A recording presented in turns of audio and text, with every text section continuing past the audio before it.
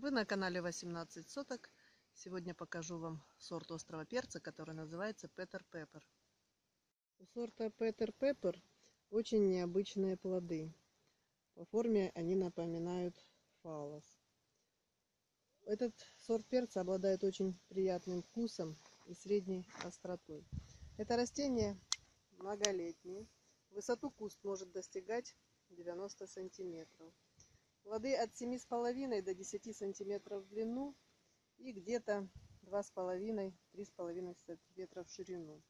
При созревании плоды меняют свой цвет от зеленого и, если это Петер Ред, до красного, если это желтый, меняет цвет до желтого, и оранжевый меняет биологической зрелости свой цвет до оранжевого.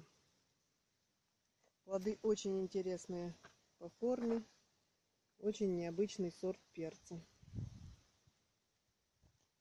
Вот у меня два сорта перца Петер. Один оранжевый, другой красный. По остроте они, как я сказала, уже средние, достигают от 10 до 25 тысяч единиц по шкале Скойла.